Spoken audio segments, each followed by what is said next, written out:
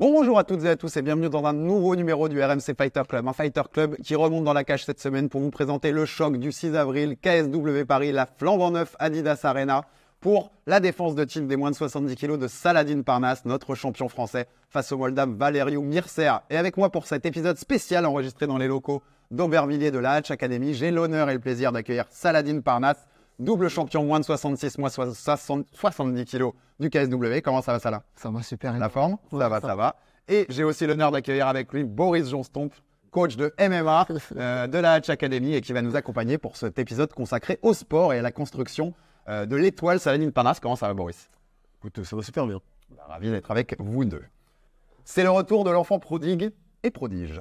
7 ans et 20 jours après son dernier combat en France en Pancras, une époque où le MMA allait encore attendre 3 ans avant d'être légalisé dans notre pays, Saladin Parnas retrouve son public ce samedi dans la flambant neuve Adidas Arena de Paris pour le premier événement du KSW sur le sol français. Double champion de l'organisation polonaise, le combattant de la Hatch Academy défend sa ceinture des moins de 70 kg face au Moldave Valeriu Mircea. Avant ce rendez-vous tant attendu par ses fans français, le RMC Fighter Club reçoit la pépite du MMA tricolore et son coach Boris Johnstomp pour raconter la construction sportive d'une étoile qui n'a pas fini de briller.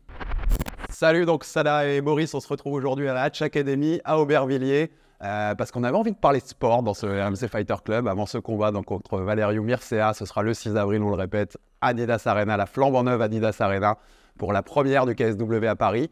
Euh, je voulais parler de sport, Salah, et je voulais que tu me dises déjà en première question, c'est quoi pour toi le MMA Ça représente quoi? Si tu devais définir à quelqu'un qui ne connaît pas, c'est quoi le MMA dans les mots de Saladin Parnas bah, Le MMA, c'est un, c'est un mélange d'arts martiaux euh, qui représente un seul, euh, un seul art. C'est-à-dire que tu peux faire du kickboxing, de la boxe anglaise, et du grappling et plein d'autres arts martiaux. Et c'est réuni dans un seul, dans un seul sport, c'est le MMA. C'est quelque chose que tu as aimé globalement dès tes débuts ou tu as appris à l'aimer le MMA Tu vois, est-ce qu'il y avait des choses que tu préférais au début et que tu as aimé non, moi, j'ai- aimé directement le MMA parce que le MMA, ça regroupe tous les arts martiaux. Et moi, j'arrive pas à me différencier entre euh, la boxe anglaise, le kickboxing, euh, plein d'arts martiaux comme ça. Donc le MMA, ça regroupe tout ça. Et je voulais faire directement tout ça. Donc, euh, Il n'y en avait pas un qui t'attirait plus que les autres non, la c'est base. le MMA, je voulais tout faire. C'est un sport dans lequel tu seras toujours, tu vois. C'est-à-dire qu'il y a ta carrière qui est encore longue euh, et on l'espère pour toi, mais euh, tu t'imagines dans ce sport dans 20, 25, 30 ans euh, à s'occuper des, des petits comme, comme peuvent faire Maurice et Si, si, si, si, je pense, ouais, je pense. Bah, pour moi, le MMA, ça- c'est toute ma vie, donc euh, j'ai grandi avec. Et c'est comme ça aussi que je vis. Donc euh, c'est comme ça que je mange aussi, euh, que je mange, euh, que je mange, que je ramène à manger chez moi. Voilà, le MMA, c'est toute ma vie, donc euh, je me vois vivre que du MMA. Et pourquoi pas donner des cours euh, quand, euh, quand j'aurai mis fin à ma carrière ou, ou monter peut-être une salle de sport, je sais pas. Mais un Boris truc, euh, un truc euh, par rapport au sport, quoi. Il fera un bon, il fera un bon coach, Saladin peut-être. Ah, honnêtement, euh, je vais pas mentir, je peux pas le savoir la petite fille. Parce que c'est un combattant professionnel, donc il est, il est beaucoup, axé sur lui-même, sur sa, sur sa performance. Donc euh, là, si je dis ouais, ouais, ce sera un super bon coach, je serai, je serai en train de mentir. Et il n'y a pas le temps de regarder ce, qui, ce que le voisin il fait. Et même, même, aider, euh, même aider un partenaire, il peut le faire s'il est, euh, s'il est hors, euh, hors préparation. Mais une fois qu'il est en préparation, c'est terminé. C'est quand même, il a un, un bon rythme, il combat, il combat quand même assez souvent. Ah, non, il n'a pas le temps, donc je peux pas dire ça maintenant. Et à l'inverse, c'est un élève facile? C'est Oui. facile de coacher Saladin Parnas Oui, très facile. Il y a, il y a des athlètes, ils ont besoin de, de comprendre ce que tu leur dis. En fait, euh, ils ont besoin de comprendre, oui, mais pourquoi je dois faire tel exercice, pourquoi tant de temps, pourquoi, donc il faut leur expliquer. Et c'est pas que c'est embêtant, mais c'est un peu plus de temps. Ça, Saladin, tu lui dis de, de faire ça, il sait qu'on est là pour son bien, il fait, c'est tout. C'est une confiance absolue dans ton, dans ton staff en fait qui, qui provoque ça, ça? Bah après, euh, ouais, c'est une confiance, c'est une confiance absolue. Après, euh, Boris il a une carrière MMA, donc euh, j'ai une confiance, euh, j'ai une confiance avec dans, dans ses cours, dans ce qu'il propose. Donc euh, je suis à l'écoute et puis, euh, et puis voilà, c'est l'un des euh, premiers fighters à faire le jungle, le jungle fight. Donc euh, voilà, admiratif et tout le temps, tout le temps à l'écoute de mes, de mes coachs. Pionnier du MMA et au Jungle Fight, je le rappelais dans l'intro, mais où il a battu Adriano Martins, le dernier tombeur d'Islam quand, quand même, tout de même. Euh, Qu'est-ce que tu préfères dans le MMA Est-ce qu'il y a quelque chose que tu préfères? Bah, le MMA. MMA global. C'est global. Que quand, euh, quand je vais à l'entraînement, j'aime bien faire mes sparring en MMA, faire mes 5x5 et voilà, tout donner. Et il y a un truc à l'inverse qui t'ennuie ou que t'aimes pas, tu vois, ou un truc quand tu te dis, tiens, aujourd'hui, on doit travailler ça, bon, La un technique, peu flemme, quoi. la technique, la technique, c'est-à-dire que tout ce qui est technique au sol, tout ça, ça me. Ouais, il sait, il sait Maurice, ça, ça me fatigue. Je le fais, mais. euh, En fait, Que au sol? Non, technique en général, je dirais. Parce qu'en fait, euh, Salah, il a beaucoup de gaz. Et, euh, et de lui faire de la technique euh, comme ça, c'est quelque chose qui va, qui va l'embêter. Donc, le moyen de lui faire faire de la technique, c'est d'incruster la technique dans une thématique. Et là, il n'y a pas de problème. Tu peux nous donner un exemple, Maurice? Euh, je sais pas, si je vais lui faire faire euh, un- du scramble, par exemple, je ne vais pas lui dire, ouais, tu mets la main ici, tu mets la main là, tu mets le genou ici et tu te lèves. Non, je, je vais expliquer l'exercice en général. Je vais, lui mettre, je vais le mettre avec euh, deux, trois personnes. Je vais lancer le chrono. Il va faire, il va faire ce qu'il a à faire avec ses erreurs. Et pendant qu'il le fait, je vais lui dire, ah, il manque le genou ici, ah, il manque ta main ici. Et voilà, et là, là, et là, et là il a creusé la technique tout seul. C'est plus facile, en fait, pour toi, dans ce sens-là. Bah, c'est plus facile. Quand je suis en activité, c'est sûr que c'est plus facile. Mais quand je suis là, arrivé à la technique comme ça, lentement, Répéter les gammes. non, c'est relou. Parce qu'il est beaucoup sur l'instinct aussi, c'est pour ça. Ouais, c'est important, c'est une de ses caractéristiques de combattant. C'est ça. Euh, on a connu aussi son côté, on a toujours parlé de Salah comme un, un charbonneur dingue et un bourreau de travail. Je pense que tu confirmeras, Maurice. Oui. Euh, Nous-mêmes, les équipes RMC Sport, on a déjà été en reportage avec toi où les reporters revenaient et me disaient Mais Salah, je l'ai vu courir à 1h du matin ou partir faire, faire un jogging à cette heure-là. C'est quoi le, pi- le pire truc que tu fait en termes d'entraînement dingue ou en termes de trucs, tu vois, où même tes coachs t'ont dit Mais qu'est-ce que tu fais là? Le pire, euh, c'est bon, j'ai fait tellement de, tellement de choses. Non, en vrai, j'ai. euh, moi, dès que, dès que j'ai un objectif, c'est-à-dire que je dois perdre de- du poids, je dois perdre mes kilos, c'est-à-dire qu'il n'y a pas d'heure pour moi. euh, Si j'ai une interview euh, à 20h, 20h30, bah, si je finis à 1h, 2h du matin, bah, je vais aller courir à 1h, 2h du matin. Et c'est souvent que ça t'est arrivé? Non, pas souvent, mais euh, j'essaye de de pas faire ça parce que c'est pas bon. Courir à 1h, 2h du matin, c'est vraiment de garder le même rythme d'entraînement. C'est-à-dire mes- mes- mon rythme d'habitude, 20h30, euh, l'après-midi à midi.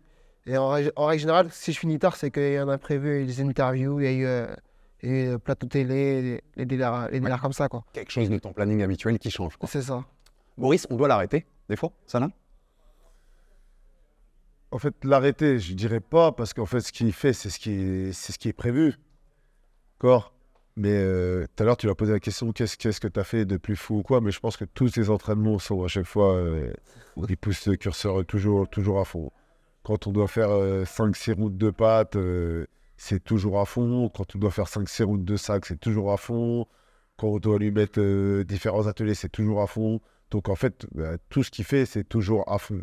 Donc c'est difficile de choisir, euh, de prendre une étape, telle chose, soit la, que ce soit la course à pied, la préparation physique ou le technico-tactique, et, et de lui poser la question qu'est-ce que tu as fait de plus fou? Parce que tout est toujours, euh, tout est toujours très haut. Et quand tu dis euh, on doit faire 5-6 rounds, il en fait plutôt 8 dans ces cas-là? Non, déjà, normalement, quand il en fait, quand il en fait 6, il devrait en faire 4 ou 5. C'est- On est déjà sur le surplus. Et toi, il y, a une y a un jour, tu vois, tu vois, as un souvenir ou une anecdote ou un jour où tu t'es dit c'est quand même une machine? Il n'y a pas un jour, je me dis ça tous, les- jours. Il n'y a pas un jour, je peux me dire ça tous les jours. Il ne se rend pas compte, hein, mais quand je le prends la patte, euh, je suis fatigué.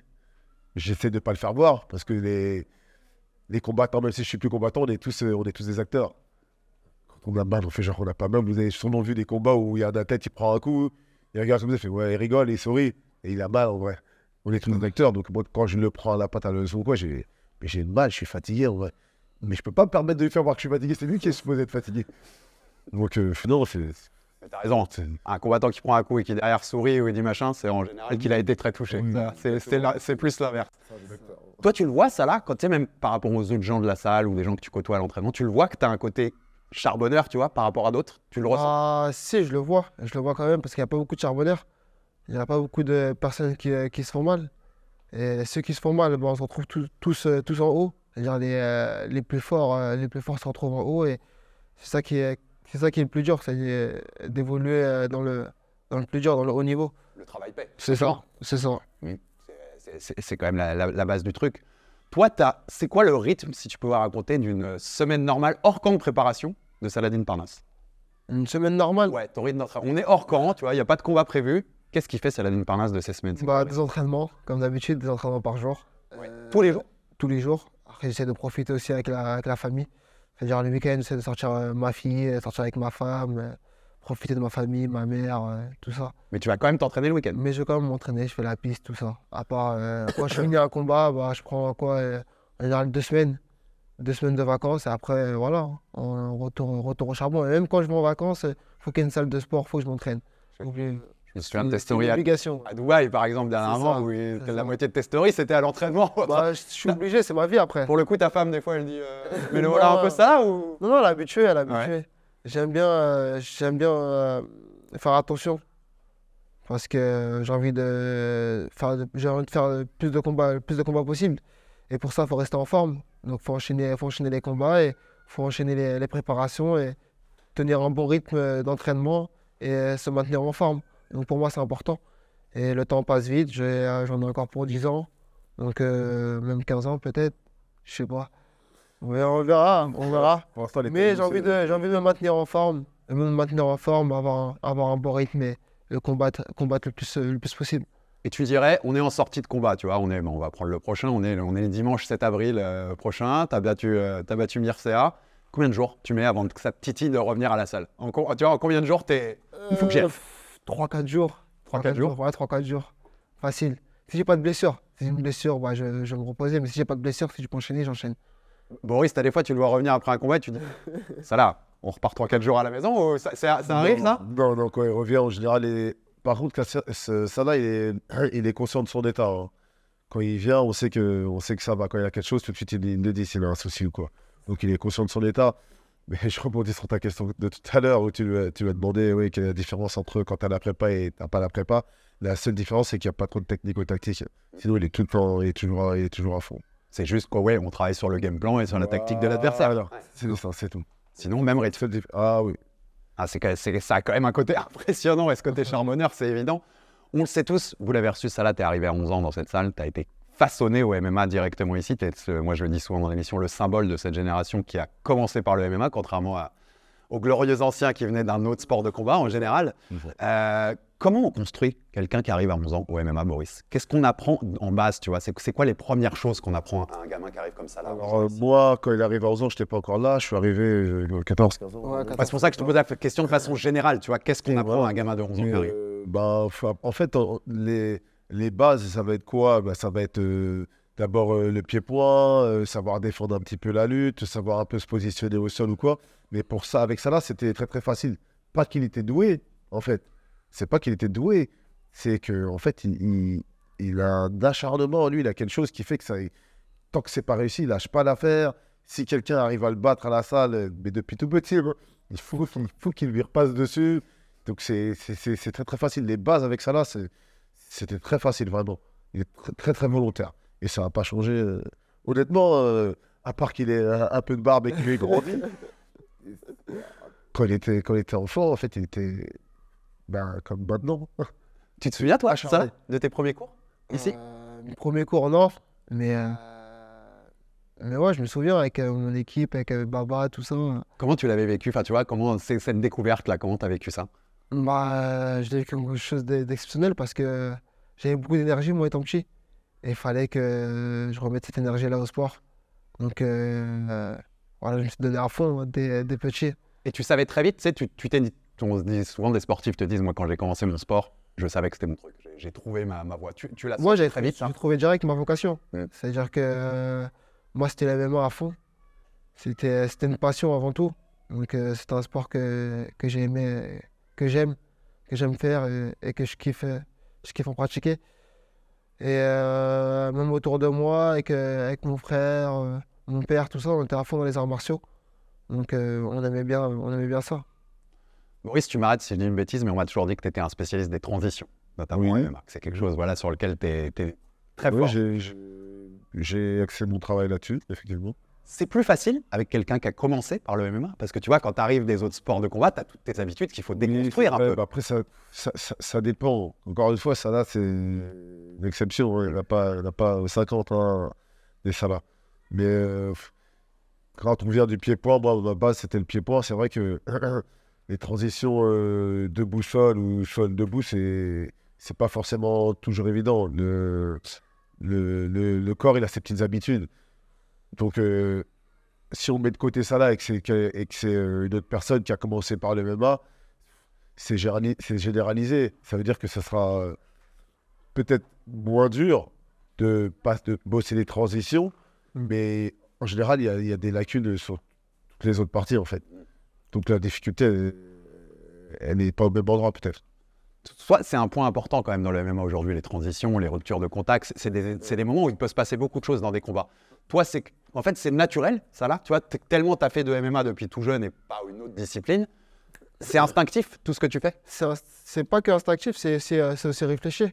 C'est-à-dire que, par exemple, si je rencontre un mec du Pépin, bah, je sais que je vais pas boxer avec lui, je vais pas me mettre en danger à aller boxer avec lui, je vais le ramener au sol et, faire parler mon grappling ou mon JJB. Et si je rencontre un mec du JB, bah, je vais faire parler mon Pépin parce que euh, je suis assez bon dans les, dans les deux parties. Donc, euh, je suis assez complet, on va dire. Ouais, il n'y a aucune des deux fois où tu, tu vois, où tu te sens moins bien que l'autre. Non, Tu es à l'aise dans ces deux cas de figure. deux- Dans les deux cas de figure.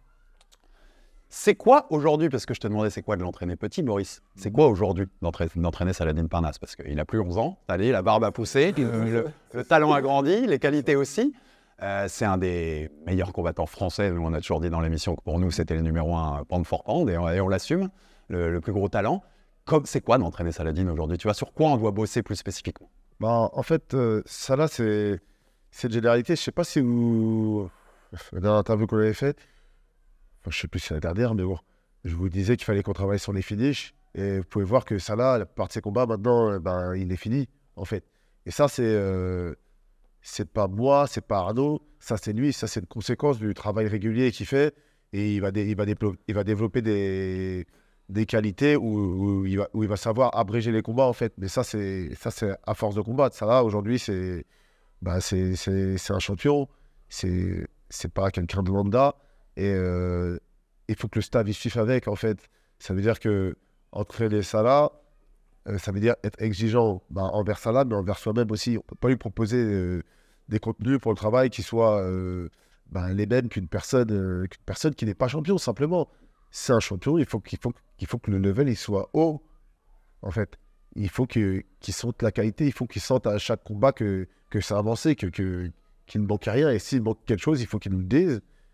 S'il avait, s'il sentait qu'il avait des lacunes euh, sur, sur, cer- sur certains points, il faut qu'il nous le dise et que nous, on travaille là-dessus et de savoir pourquoi il avait ces lacunes et pourquoi ça, ça n'a pas été. Ça, c'est quelque chose qui est différent de tous les autres élèves que, que vous avez à la Hatch, quand même? Parce qu'il est à part, comme tu me le disais. c'est différent de tous les autres élèves parce que, parce que d'une, c'est un champion. Et euh, il a de régularité. Et comme il vous a dit tout à l'heure, c'est pas tout le monde qui aime se faire mal comme ça. C'est pas tout le monde qui aime passer cette zone rouge. On est tous euh, des bons athlètes, on est tous bien, on est tous, on, on sait tous faire du MMA. Mais il y a une certaine zone, euh, comment dire, il y a une certaine zone où on doit se faire vraiment très mal. Et tout le monde n'est pas capable de faire ça. Lui, là. Oui, oui, là, on lui, c'est déjà, c'est facile, mais bon. Le sourire est là pour confirmer. on, on en, riait, on en euh, ri- souriait parfois dans le football à se dire un Lionel Messi, il a été en partie formé, en tout cas à ses débuts de carrière pro par Guardiola, mais il est vite devenu un bien meilleur joueur que Guardiola, qui était quand même son coach. Euh, on se dit que, tu vois, le, le Boris Prime face à Saladin Prime, tu, tu te l'imagines des fois, tu te dis ça aurait donné, qu'est-ce que ça aurait donné? Euh, je, je crois que je vous l'ai déjà dit. euh, je l'ai déjà parlé qui me faisait penser à moi parce que je, je m'entraînais tout le temps dans tous les sens, mais sauf que moi je m'entraînais n'importe comment, j'avais personne euh, pour me suivre. Du coup, je m'entraînais blessé, cassé de partout. Et euh, mais même, euh, même dans mon prime, j'ai jamais atteint le quart de la moitié de son niveau. Faut pas se mentir, en fait. Et, Et ça se joue, toi, dans ton approche? Excuse-moi de te couper, mais ça joue, tu vois, dans ton approche de dire, bah, j'ai quelqu'un d'un- énorme niveau, quoi. En face. Donc, comme tu disais un peu tout à l'heure, il faut que je sois à la hauteur aussi dans ce que je propose, en fait. Bah, en fait, comme j'avais dit dans une précédente interview, il n'y a pas que ça là. Il y a, pas mal d'amateurs qui sont à la hatch et ailleurs aussi. Quand je regarde leur niveau, ils sont bien meilleurs que les gens de ma génération. Parce qu'il y a un, y a un circuit amateur, euh, parce, que, parce que derrière, il y a des gens qui ont essuyé les plâtres et qui, savent de quoi ils parlent. Et euh, moi, j'ai fait euh, beaucoup d'erreurs. Et j'ai fait en sorte qu'ils ne fassent pas les mêmes. Euh, après, euh, j'ai perdu le fil conducteur, mais bon, faut me le redonner. T'inquiète. Et, euh, et c'est une, mais parce que c'est intéressant ce que tu me dis là aussi. Il y a des fois, tu te dis, euh, je serais bien né 20 ans après quand même, pour profiter de, tu vois, de, de tout ce qui se passe autour du MMA aujourd'hui, auquel toi et toute ta génération, vous n'avez pas eu accès en fait. Non, non, je me dis, je me dis pas ça. En fait, je pense que quand tu as perdu la NIAC, ben, tu l'as perdu. Je, je, pense même pas. euh, je même pas. euh, je me dis même pas, ouais, ah, j'aurais été de cette époque. Non, mais pas. Je... Moi, j'ai bien, vraiment, j'ai j'ai- bien aimé euh, notre époque. J'ai bien aimé notre époque. En plus, le sport était, c'était propre. Ça restait propre. Là, le sport, ça ressemble beaucoup à du sport business. Je, je vois des choses, des fois, des amateurs qui se mettent à faire du trash talk. J'ai du mal à comprendre. Parce que le trash talk, c'est quand même pour vendre quelque chose. Euh, ça va se remplir les poches. En amateur, on est en train de se construire. Alors, j'ai du mal à comprendre. C'est pas un truc que, c'est pas un truc que, que j'aime. Même, je pense, parler au nom de toute la Hatch Academy, c'est pas, c'est pas des, trop des, des choses, des choses qu'on aime. On va vers l'entertainment. Il y a un petit côté catch. C'est ça. Ouais. C'est ça. C'est encore un gros côté, même. Ouais, gros côté. Comment tu le vis, ça, toi, C'est c'est Non. quelque chose qui te plaît pas non plus, je sais, je te connais Ouais. assez. euh, Non, euh, bon, maintenant, euh, tu sais, euh, le sport, c'est plus basé maintenant sur les, sur les réseaux sociaux. C'est-à-dire que si tu as de l'engagement ou pas. Donc, euh, c'est plus euh, sur les euh, compétences sportives. C'est plus comme avant, quoi. À l'époque, c'était beaucoup les compétences sportives. Là, bah, je le vois aussi. C'est-à-dire que là, il y a plus. euh, ça n'a rien à voir avec les compétences maintenant. Et toi, tu dois forcer ta nature sur ça parce que tu es, quand même présent sur les réseaux parce que tu Obligé, obligatoire. obligé. Tu, tu forces ta nature un peu là-dessus. obligé et plus, euh, plus la compétence sportive aussi. Donc ça va, ça va avec. C'est-à-dire que je me fais connaître au niveau de mes compétences sportives et euh, via les réseaux sociaux. Donc c'est important de jouer des, de jouer des deux. Maintenant, c'est le service après-vente de, du voilà, sportif, ça. en fait. C'est ça. C'est. Boris, tac, je vais te donner quelques secondes pour réfléchir parce qu'elle n'est pas facile. Si, dans tout. Tu connais bien le MMA, tu connais bien ton sport et tu y es depuis très longtemps. Si tu avais un nom d'un mec qui ressemble à ça là, tu vois, dans, dans l'histoire de ce sport, d'un grand champion, d'un truc, qui, qui te viendrait en, en tête en premier? José Aldo. José Aldo. Tu peux m'expliquer pourquoi? Ben, José Aldo, il était. euh, Ok, il est issu du pied-point. Mais. Euh, JJB, je crois, JJB. moi, je sais pas, moi, je savais pas qu'il était. Tu vois, Ouais, moi, quand je le voyais c'est- combattre, j'avais l'impression que c'était C'est ça qui est délirant parce que je suis, alors, je suis un adorateur absolu d'Aldo. Et euh, en Et, effet, il euh, vient plutôt du JJB, bah, tu vois, mais je il a savais tellement développé un bon pied-point que tu peux te dire qu'il viendrait là. En fait. ça. Et ben en fait, euh, José Aldo, bah, moi, José Aldo Prime, honnêtement, je lui voyais pas de faiblesse. J'avais beau regarder, regarder encore et encore, je voyais pas de faiblesse en défense de ligue, même en attaque, même euh, en pied-point, les, les timings, euh, au sol, c'est vraiment. Et, et- et ça là, euh, je le voyais grandir et quand je le voyais grandir, je pensais souvent à José Aldo en fait. Ouais, qui est en plus le GOAT, des, par- pour beaucoup, moi compris, hein, je ne le cache moi, pas, le GOAT des 145, des featherweight, donc tac, une de tes catégories. je me ça. suis beaucoup. je me- C'est un modèle aussi pour toi? Ouais, je me suis beaucoup inspiré. À l'époque, euh, José Aldo, c'était, euh, pour moi, c'était le combattant ultime aussi. hein. Quand il a affronté euh, Frankie Edgar, euh, Sean Mendes, tout ça, c'était des, c'était des bonnes guerres. Pour moi, il m'a beaucoup inspiré. et tu, et tu vois une ressemblance avec toi aujourd'hui? Euh, non, non, du tout, parce qu'on n'a pas du tout le même style. On n'a pas du tout le même style. Moi, je suis plus longiligne. Et après, euh, je me plus de débit que lui. Après, lui, euh, ses couilles font un peu plus mal, je pense. En termes de low kick, ça dépend. hein, je sais pas après. On n'a pas les mêmes. euh, Il faut les on avoir pris ouais, c'est ça. On n'a pas affronté les mêmes, les mêmes lignées. On n'a pas affronté les mêmes lignées. Moi, j'ai plus affronté les lignées on va dire, de, de Connor que, que lui. C'est-à-dire que j'ai affronté Artsonowski qui a affronté Connor, Bushinger qui a affronté Connor. J'ai plus affronté sa lignée à lui que la lignée à Josaldo. Donc, euh, je me vois plus dans, dans le style de Connor en termes de- d'envergure et, et de combattant que, que Josaldo. Mais Josaldo, c'est un combattant qui m'a beaucoup, beaucoup inspiré. Pour vous dire, j'adore, j'adore cette réponse, vraiment. Tu as eu d'autres modèles quand tu as grandi dans ce sport? Tu as eu d'autres Khabib, Khabib. euh, après, dans d'autres sports aussi, dans d'autres Ouais, disciplines. ouais, ouais. Dans la boxe anglaise, Canelo, euh, Davis, les Devin Haney, Shakur Stevenson, tout ça. Je me suis inspiré de, de plein de mecs comme ça. Ouais, Au-delà d'être des modèles, c'est des choses, c'est des gens chez qui tu vas essayer de regarder les combats pour prendre des choses. C'est ça, pour m'inspirer, pour m'inspirer, on va dire. Parce qu'en plus, euh, ils sont gauchers comme moi, on va dire, euh, Davis, tout ça. Donc, euh, j'essaie de m'inspirer un peu, euh, reprendre quelques trucs à eux, mais le mettre à ma version MMA façon. Donc, voilà. ça, ça me lance sur la question d'après. Si tu pouvais prendre une qualité de n'importe qui aujourd'hui dans le monde du MMA, n'importe quel combattant, tu, tu vois, une des qualités qu'il a, tu la prends. Qui tu Ouais. choisirais Euh, Qui et quelle qualité Pour moi, le meilleur à l'époque, hein, c'était Connor, parce qu'il avait un, La gauche de Connor Il avait, euh, ouais, il avait son bras arrière. C'est- euh, C'est-à-dire qu'à l'époque, il était à son prime. euh, pour moi, il était vraiment euh, imbattable. Il arrivé, bah, il nettoyait José Aldo en, en 10 secondes, malgré le trash talking, tout ça. Mais euh, il était, il était vraiment fort. Après, euh, en termes de débit, je mettrais Max Holloway. En termes de cardio aussi, Max Holloway. En termes de low kick, tout ça, je mettrais. euh, comment il s'appelle Euh, Barbosa. Voilà. Edson Barbosa, oui. Et euh, en Gordon Pound, je mettrais Khabib. Donc voilà, je prends un peu de, de tout ça et j'essaie de le regrouper. Bon, tu prends tout ça, tu deviens En invincible. shot, hein. C'est tout simple, hein. Dire Gordon Pound à la Khabib un peu. Et qu'on a grandi aussi en même temps, en même temps que, en même temps que Khabib pendant son évolution. contrôle aussi, sa lutte puissante, contrôle, sa lutte c'est de ça. contrôle. Avec euh, même, euh, bah, même Islam, hein, même Islam pareil. hein. Donc euh, pour moi, c'est euh, des combattants inspirants. Tous ceux que j'ai cités. Faut demander à ton coach, il a battu un mec qui a battu Islam. Il Ah, même, que- même question, coach. Ouais, je sais bien. C'est pour le clin d'œil, mais même question, coach. Si tu pouvais prendre une qualité d'un mec du monde du MMA et la donner à Salah. Le punch de Francis. Simple, basique, efficace. Ah, ouais, là. Euh, Ce côté, j'éteins la lumière. Quoi. Ouais. Et je euh, C'est dur de l'avoir, ça, l'ai pas. Ouais. C'est- un truc inné presque, en toi. Ça se travaille pas, on est d'accord. Enfin, ça se travaille, mais Ça se travaille. Il y a un côté inné. Mais ouais, voilà, il y a un côté inné. Moi, j'ai un grand frère qui n'a jamais fait de sport de sa vie. Euh, et je suis tombé, c'est pas grave. Euh, mais pourtant, j'ai jamais fait de sport. hein. Hein. Et puis, il y a des mecs qui sont comme ça. Pour, pour rester dans ce jeu des comparaisons, ça là, les deux, aujourd'hui, les deux, dans les deux catégories de champions, moins de 66, moins, moins de 70 kilos, les deux euh, considérés comme les meilleurs au monde, c'est les, deux champions UFC, Ilia Topuria et Islam Makhachev. C'est des gens qui t'impressionnent. Euh, Non, pas du Non. tout. Euh, non, j'ai affronté euh, Bartos qui était à 14-0. Pourquoi un Topira qui a 14-0 m'impressionne Non, moi, ça m'impressionne pas. En plus, c'est plus petit Islam, Bartos, hein, Is- donc, Islam, Islam, il m'impressionne parce qu'Islam, il est vraiment fort en, en termes, en termes de lutte. Vraiment, son, lutte, son lutte grappling en pound, il a vraiment une bonne qualité, c'est-à-dire qu'il a vraiment un bon contrôle par rapport à ça.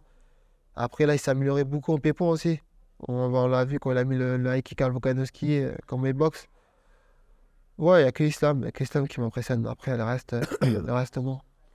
tu, tu sors, on, on disait, de cette, cette défaite contre Bartoszynski, donc tu tentais de devenir triple champ en montant en moins de 77, ce qui est, ce qui est une dinguerie, on le rappellera, on le rappellera jamais assez. Euh, T'as vécu la défaite comment? Comment tu vis tes Bah. défaites? Tu vois, c'était ta deuxième en carrière, il y avait Daniel Torres, on se souvient, avec ce coup de l'avant-bras euh, qui est un peu Comment chanceux. vécu? Comment tu l'as vécu? Bah, je l'ai vécu un peu comme un, comme un vol parce que pour moi, je, le- je me voyais gagner. Je me voyais gagner. Il a mis qu'un seul coup euh, significatif, c'était le coup de genou. C'est le seul coup qu'il a mis, euh, de... seul coup qu'il a mis euh, durant, euh, durant les, les 5 rounds qu'on a fait. Donc. euh, et, humainement, tu vois, c'est un truc qui te fait gamberger, enfin, pendant plusieurs jours, tu penses qu'à ça ou, ou tu zappes assez vite en fait? Bah, je pense à ça. Bah, même là, j'en pense. Je- J'en pense, j'en pense tout le temps, mais ça fait C'est un moteur aussi en fait. C'est ça, ça fait partie du jeu. Et c'est ça qui, fait, qui me fait travailler aussi, qui, me, donne envie de me lever, à l'entraînement euh, et de surpasser mes limites. C'est euh, de plus laisser cette, euh, cette chose-là arriver. Donc euh, voilà, il faut que je travaille plus et il faut que je me donne à fond euh, à chaque fois dans, dans tous les combats, que ce soit un combat comme ça ou un autre combat. Voilà, faut se donner à fond. Question toujours intéressante pour un combattant, j'ai dit, dans tes deux défaites, il y a ce KO contre Daniel Torres sur ce coup d'avant-bras. T'as peur du KO en tant que combattant Non, C'est non, quelque chose que, que tu crains Non, non, j'ai pas peur. Ça arrive, ça arrive. On fait beaucoup d'erreurs, des fois, en combattant. Et euh, non, je vais. euh, faut retravailler dessus. Après, voilà, c'est pas bon de prendre un KO. Donc, euh, donc je vais tout faire pour pas prendre le KO. Euh, J'essaie en tout cas euh, de tout faire pour pas le prendre. Et de visualiser bien le combat, de monter bien mes mains, de faire attention, rentrer bien le menton, de pas être à découvert. C'est ce qu'on travaille, euh, ce qu'on travaille aussi euh, le plus sur l'entraînement, hein, c'est ça. hein. Et éviter de prendre des coups, plus on donner. Donc, euh, le KO, s'il vient, il vient. Mais euh, voilà, faut, faut pas le prendre, quoi. Je ne sais pas si vous avez suivi, c'est Francis après Joshua qui dit Je sais que c'est un KO parce que je me souviens de rien. Je me souviens même pas du coup, je me souviens juste de me réveiller et de me dire Ah ouais, j'ai été mis KO. Quoi. Parce que je pense qu'il a jamais, euh, il a jamais eu un adversaire comme, comme Anthony Joshua. Et là, c'était c'était trop haut.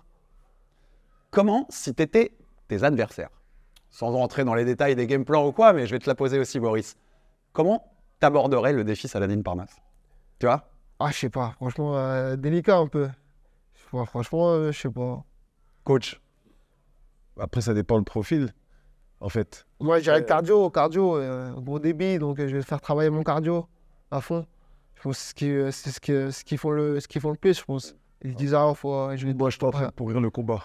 Waouh, ça me connaît, ouais. Voilà. Parce qu'il il va vite, il bouge, il joue beaucoup, il a du cardio, je suis en train de pourrir le combat. Un combat sale. Mhm. Voilà. Soit euh, euh, là-haut ou au sol, un combat sale où Ouais, je vais bon. se coller, où je mets pas beaucoup de coups, vraiment un combat vraiment, vraiment, vraiment sale. Un petit peu ce qu'a fait Bartos contre la cage. Oui. Oui. Un peu beaucoup. J'étais gentil. J'étais gentil, mais il y a un peu de ça. Ouais. C'est ça. À quel point le travail mental est important, Boris, quand on prépare un combattant de MMA Parce qu'on le sait, il y, y a aussi la dimension mentale d'aborder le combat, voilà, de... à quel point ça joue pour quelqu'un comme ça. Pour quelqu'un comme ça là?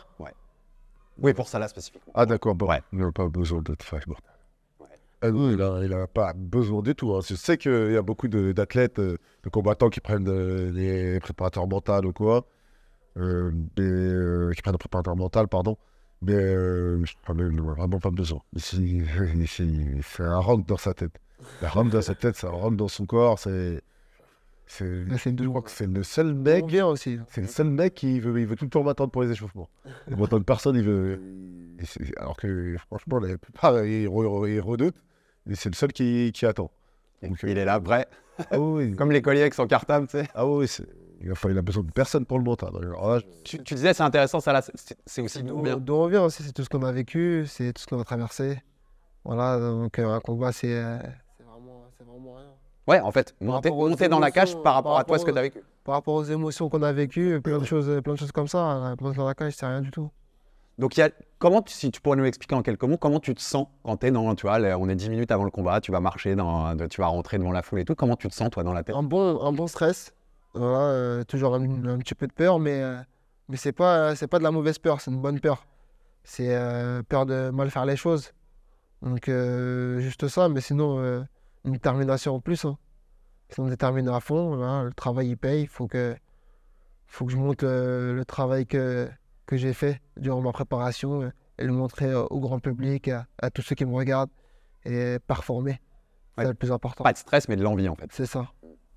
Qu'est-ce qu'on lui Un dit peu, un peu de stress quand même. Oui, oui, Un mais peu. ce que je veux dire, mais c'est l'envie qui prend le euh, un bon stress, c'est c'est un truc que j'ai envie. Oui, c'est pas le stress. C'est pas le stress que j'ai peur, il faut que je me cache, non, c'est un truc que j'ai envie de montrer. On- l'a déjà vu un peu en caméra, parce qu'on est en inside avec vous sur, sur tous les derniers combats, mais on lui dit quoi, Maurice, dans ces moments-là ça, là Bah, en fait, euh, sur, les, euh, sur les combats, c'est toujours Hatch et Arnaud qui l'accompagnent.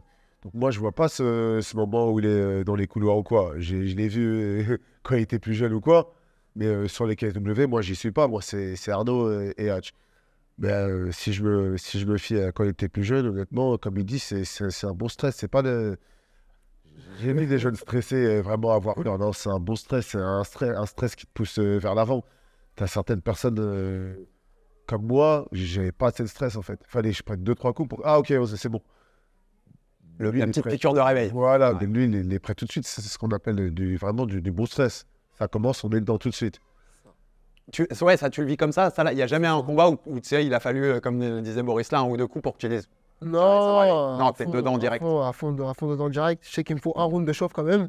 Donc, euh, euh, premier round, je visualise plus l'adversaire, tout ça. Après, deuxième round, euh, là, j'ai plus ça monte et plus Et t'aimes, tu sais, je sais, les combattants, on se souvent dit, ils aiment ce premier échange avec l'adversaire parce que bah, tu le jauges et tu, bah, enfin, on a une vérité en fait. On a la vérité du premier échange, on voit la puissance physique du mec en face, on sait ce qu'on va pouvoir faire. C'est quelque chose que, que tu kiffes? C'est quelque chose que, ouais, c'est quelque chose que j'aime bien. C'est ce que je ressens. Comme avec Bartos, j'ai senti qu'il était plus puissant que moi, il a- mais j'ai senti qu'il n'a pas voulu trop se cramer aussi en, en, en m'amenant, tu vois, en, en mettant du jus. Donc je me suis dit, il, doit, il, gère, sa, il, gère, sa, Il est dans la gestion. il gère sa force, il est dans la gestion. Alors que moi, j'étais plus là, j'étais plus en train de travailler, quoi. Donc euh, j'ai senti que je pouvais, euh, que je pouvais l'épuiser, on va dire. Donc, Et- euh, ces- premiers échanges, ils sont importants. Et dans ces premiers échanges, il y a un adversaire dans ta carrière qui t'a vraiment surpris. Ou tu vois, tu t'attendais pas à ce que tu as, à ce que as eu en face en fait. Non. Non. Après ça là, il est un peu comme euh, c'est un peu comme les Thaïlandais. À l'époque, euh, il prenait toujours un, un round d'observation ou quoi. Et ben, il est un petit peu comme ça. C'est son round de chauffe, comme il dit, mais il, il est beaucoup dans l'observation. Tu sais, on dirait même dans la boxe, les Vassil Lomachenko qui est toujours premier round, sais, il fait fonctionner l'ordinateur. Tiens, Ça, je rentre, ça. je rentre les données et C'est ensuite j'y vais. Mais il faut, euh, faut être malin aussi, parce qu'il faut gagner le round aussi. Surtout dans des combats, tu vois, quand t'avais Dans des un c'est ça. c'est- Faut des t'en combats- laisses filer des un, combats bah, c'est déjà chaud. Des combats importants, donc euh, ouais, c'est trois rounds, on va dire aussi. Les trois rounds, c'est-à-dire que tu jauges le premier round, mais il faut le gagner quand même. C'est-à-dire que tu le juges, hop, tu, prends, tu fais pas trop d'erreurs, et tu essaies de le gagner quand même. C'est-à-dire en, euh, en étant plus malin que l'adversaire. Après, lui, il est en retard, donc il faudrait qu'il rattrape. Dernière question sur ce thème, ça là, c'est quand tu es dans, dans la cage pour un combat, tu dirais que c'est un des endroits où tu te sens le mieux dans ta vie, tu vois, de façon globale? Bah, euh, je pense après. Quand tu gagnes, là, tu te dis, euh, tu te dis, ouais, là, je me sens bien, hein, le travail, il paye, tout ça, t'es content, tu fais ta victoire avec tout le monde. Tu vas au club, euh, tout le monde, tout le monde rigole, t'apportes de la joie, de la bonne humeur et des bonnes ondes euh, positives. C'est ça qui est, ça qui est bien. C'est-à-dire que quand je rentre, euh, je vois mon coach, je vois Boris, là, le sourire comme ça, ça me fait, ça me fait kiffer. Exactement le sourire qu'il avait. Mais c'est quelque chose que t'aimes. Le... Si tu vois, si, tu, si euh, les circonstances, on sait pas, la malchance, une blessure, un truc, que tu pouvais pas combattre pendant deux ans, par exemple. Ça te manquerait beaucoup. Bah oui, ouais, euh, ça me rendrait même malade. même. T'aimes ça, Ouais, j'aime, j'aime, j'aime ça, je kiffe. Et mon dernier thème, je voulais aborder avec toi parce qu'on en a souvent parlé, même euh, on était ensemble sur le plateau de l'UFC 299, on en parlait un peu en off. C'est la boxe anglaise. Parce que je sais que tu adores ça. Tu une fascination aussi. Il y a l'envie de combattre, déjà tu peux nous en dire parce que je sais que Bah, dans les tuyaux, il y a toujours l'envie de faire un combat de boxe anglaise. Où, est-ce que ça en est? Non, j'ai une envie de combattre en boxe anglaise. Bah là, il me reste un, le dernier combat de mon contrat. Puis après, on verra, euh, on verra ce qu'on qu'on me propose. hein. Je, reste, ou- je reste ouvert aux propositions. Et c'est une. Qu'est-ce que t'aimes dans la boxe, tu vois Parce que on sent que je sens que tu en as envie, tu vois, euh, quand on en parlait. Qu'est-ce que t'aimes particulièrement dans la boxe anglaise? C'est le Bah, challenge ou c'est ou c'est le sport en lui-même? c'est, euh, Non, c'est le sport en lui-même. Et c'est un challenge aussi. C'est c'est tout. hein. C'est tout. Pour moi, c'est un art, c'est un art difficile. Parce que euh, c'est que les points. Et il faut, faut bien viser. C'est un travail. le travail, il est trop, il est trop énorme. Je pense qu'il est même plus difficile que des fois que le MMA. C'est différent. C'est différent. C'est pas pareil en fait. Le C'est pas- coach, là, non, c'est. Pour moi, pour moi, il est dur aussi. La boxe anglaise, c'est dur. Donc, euh, et moi, j'aime cette dureté. C'est. euh, les, vraiment, les personnes fortes en boxe anglaise, elles sont rares. C'est-à-dire que. euh, C'est-à-dire qu'ils sont vraiment pour moi dans le super pouvoir, limite. Les Canelo, les, les Davis, les Crawford, les Mohamed Ali, les Mike Tyson, ils ont, ils ont un don, ils ont un pouvoir. C'est, ils arrivent à, ils arrivent à exceller, à exceller alors qu'ils sont, ils sont beaucoup. C'est comme un Davis. Davis c'est euh, l'un des mecs les plus petits de sa catégorie. C'est-à-dire que même sa taille, il a réussi euh, à faire de sa taille euh, un pouvoir. C'est-à-dire que grâce à sa taille, il arrive à, bah, il arrive à gagner ses, euh, ses adversaires qui sont dix fois plus grands que lui.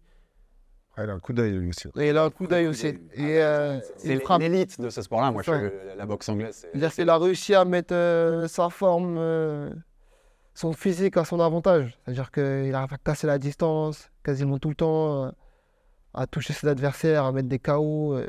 Non, pour moi, c'est c'est un sport. euh, Il aurait fait carrière en, en anglaise, coach? Si, si à 11 ans, le Saladin Farnas, il rentre dans une salle de boxe, qui se prend d'amour pour ça et qui fait que ça depuis qu'il a 11 ans. à un niveau, il est dur. hein, à un niveau, est honnêtement, difficile. hein. je ne vais pas me mettre dans la peau euh, d'un prof de boxe anglaise. Il y a beaucoup de personnes à MMA qui veulent aller faire de l'anglaise. On voit, c'est la mode du poids. Euh, moi, j'ai fait quelques années d'anglaise. Euh, 45 ans, je crois. Euh, je fais déjà du king depuis au moins 10 ou 15 ans. J'avais l'impression que je n'avais jamais fait de boxe. Ouais, c'est ça. Et l'anglaise, si ça s'appelle le noble art, c'est pas pour rien. C'est pas ça, un direct, un jab, c'est pas seulement mettre un direct, un jab. C'est une précision, c'est un calcul, c'est une préparation.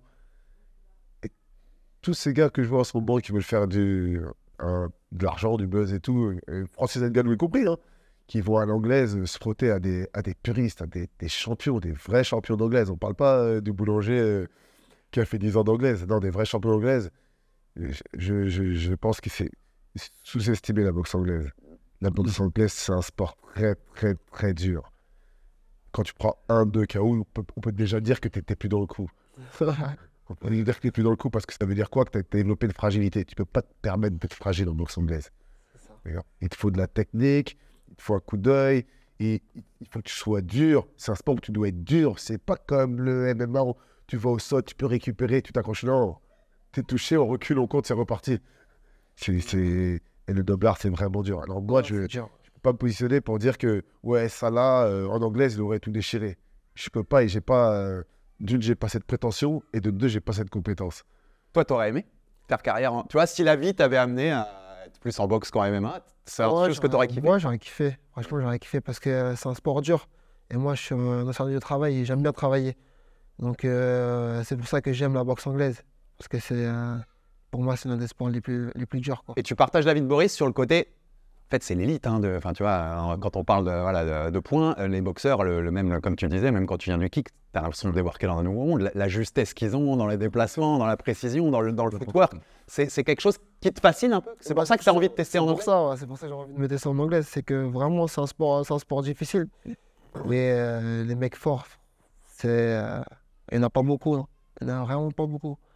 On, on en avait rigolé parce qu'après le, le Joshua, le, le, le Ngannou Fury dans l'émission, pour rigoler sur toutes ces envies des gens du MMA d'aller dans l'anglaise, euh, Boris, j'avais fait le, tous les champions actuels du de, de l'UFC et le mec qui est champion du monde de boxe dans la catégorie qui correspond pour montrer la différence de niveau. Et plus tu baisses, plus la, la différence, je trouve, est, est abyssale. Et on s'en était marré, ça là, parce que dans ta catégorie, si on va direct, si t'es en 145, on met la flèche en face, il y a Terence Crawford. Ouais, c'est Le. Euh, Ouais, c'est- pour le challenge, je t'aime beaucoup, là, et j'aime beaucoup ton non, striking, mais je pense que Terence Crawford, te battrait en boxe anglaise. Ah oui. Euh, si on te le proposait demain, tu kifferais pour le challenge, tu vois. Demain, on dit, challenge demain, on te dit, tu peux affronter Crawford euh, à Las Vegas pour tant d'argent. T'y vas pour le challenge? Bah, pour le challenge, j'y vais. Et pour le, pour le money aussi, pour le money time, j'y vais à fond. Mais Oui, bien, bien sûr. mais- avec l'argent, tout le monde y va Non, mais, mais- alors, on va dire sans argent. Il n'y a pas de chèque au bout. Pour le challenge, tu peux aller affronter non, vais pas. Non, j'y vais pas. Ah, Ah non, non, on te propose je sais pas combien de millions pour affronter. euh, Et je- Est-ce que tu penses ah bah que lui, Francis euh, avait raison, je suis d'accord avec vous les gars. Est-ce que tu penses que lui voudra m'affronter aussi à MMA Non. Non, c'est un monde fictif là. t'as- Ouais, non, c'est- mais encore moins. Lui, il vient jamais dans ton monde, ça c'est sûr. Même s'il a beaucoup de lutte, euh, parce qu'il vient de la lutte un peu. euh, Crawford, toute sa famille est très lutteuse, mais euh, non, non, il a aucune envie d'être avec toi. Ouais. Et comme ça, c'est de la fiction, mais tu te vois l'embêter un peu? Moi, je te dis, je pense qu'il te bat, hein, mais Oh tu, non. tu le vois l'embêter? Non, je vois, je me vois pas du tout l'embêter. Après, je reste vraiment focus là pour l'instant. J'ai zéro combat en boxe anglaise, donc je me vois pas du tout euh, combattre un, un Crawford ou euh, un truc comme ça, quoi. C'est dans les tuyaux, toi, pour un combat de boxe anglaise? Bah, j'espère. Ouais. J'espère en tout T'as cas. pas de timing en tête. J'ai pas le timing en tête, mais j'espère. J'espère combattre et donner un bon show, montrer un- mon deuxième talent, euh, la boxe anglaise, que je, je sais que je suis fort et je sais que j'excelle dans ce, dans ce sport-là. Sache que je sais que dans l'émission, on a très très hâte de voir ça. Et merci, merci les gars pour votre dispo. La dernière question, elle sera pour toi, Boris. Euh, je peux pas, on peut pas écrire l'avenir. Est-ce que tu penses que quand tu auras fini ta carrière, tu te diras que le, le plus gros talent que tu aies jamais eu dans les mains, euh, c'était quand même Saladin Parnasse Je peux pas écrire l'avenir. Ah, on va peux pas parler, tu vois, ouais, voilà. Mais- Mais si Ça je va être dur à l'heure de- actuelle tout de suite, je dirais oui. Et ça va être dur d'avoir plus, plus talentueux. Ouais, ça va... ouais, c'est clair que ça va être dur, mais talentueux encore, je le redis. Là, je trouve pas que c'est quelqu'un de talentueux. Non.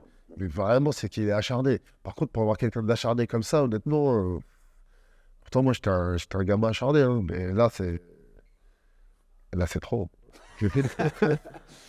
Et qu'est-ce qui fait? Qu'est-ce qui fait qu'il est numéro 1 pound for pound français à tes yeux? Qu'est-ce qu'il a Bah, en plus que les autres? il est discipliné. Comme j'ai dit, c'est quelqu'un d'acharné. Et, euh, et il a du cœur, il aime vraiment ce qu'il fait. Il aime vraiment ce qu'il fait. Il, y en a, il y en a plein euh, qui vont dire oui, euh, ah, ils sont terres au KSW et tout ça ou quoi.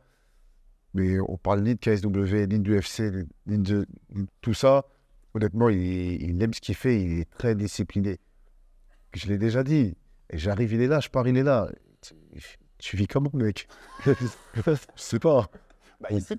Ouais, ouais, faut croire. tout simplement ici. Deux dernières réflexions pour toi, Salah. Je te l'ai dit, on a fait une interview avec euh, ton adversaire, avec Valerio Mircea, le Moldave. Tu t'affronteras, on rappelle, 6 avril à l'Adidas Arena euh, pour le KSW Paris. Et quand je lui dis comment on bat Saladin Parnasse, sa seule réponse, je vais l'expliquer dans les mots pour ceux que- qui ne me voient pas à l'image, il a monté le point comme ça, il m'a dit comme ça. À lui raconter Ah, et je l'ai- euh, bah, il, verra, il verra de toute façon. Il verra. Ouais, je, je, lui donner du fil à retordre.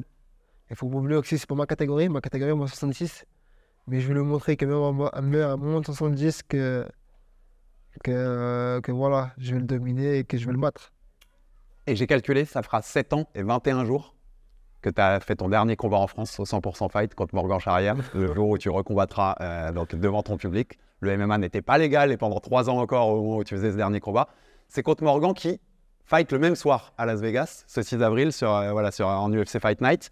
Déjà, est-ce que c'est cool d'avoir le clin d'œil Tu vois, ton dernier combat, c'était Morgan, vous fightez le même soir. Non, c'est cool, c'est cool. Gros clin d'œil à lui. J'espère qu'il va gagner son combat. J'espère qu'il va performer au- à haut niveau. En tout cas, voilà, je souhaite que le, que le meilleur. Et comment t'apprendre ce, re- ce retour avec devant ton public? Ça fait, Il y a beaucoup de gens qui ont envie de te voir, de te voir combattre en live, qui, qui t'ont pas vu depuis longtemps. Non, moi, qui n'ont jamais eu l'occasion de voir, qui ont découvert le MMA depuis, tu vois. Comment t'apprendre Non, je le prends normal. Je le prends comme un combat, euh, voilà, comme un combat normal. Pour moi, c'est euh, le plus important, c'est le combat. Rester focus sur le combat, que ce soit à l'étranger ou, ou autre part. Le plus important, c'est c'est le combat, c'est dans la cage. Donc, euh, Pas, pas grave si tu reconnais la moitié du premier rang. non, pas grave. Restez, restez focus. Ça le dérangera pas, ça, Boris. Je pense qu'il les verra même pas. Ouais. On se les verra après le combat, mais je, je connaissant, je pense que ouais, non, mais- Vous savez, euh, euh, son histoire de focus là, même Madou, moi, quand on lui parle, c'est non, non, moi je suis focus là-dessus. Il va pas sur les côtés. Ouais, même toi, tu pourrais lui dire ce que tu veux. Ah ouais, ouais, ça va pas sur les côtés. ça, c'est sûr que. Merci beaucoup Saladin Parnasse, Méride. Merci Boris Jourstampé. On rappelle 6 avril contre Valériu Mircea, défense de ta ceinture des moins de 70 kg du KSW. Ce sera en direct sur RMC Sport, donc à suivre, à suivre avec nous. Plein de force pour ce combat. Merci. Abonnez-vous sur toutes les plateformes pour rater aucun épisode du Fighter Club. Envoyez-vous des commentaires, des pouces bleus, ça fait toujours avancer le bousin. Et à très vite pour un nouveau numéro du RMC Fighter Club. Salut et merci les gars. Merci.